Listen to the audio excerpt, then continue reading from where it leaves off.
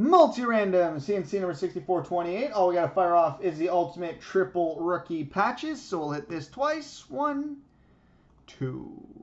The Predators. There we go, boys and girls.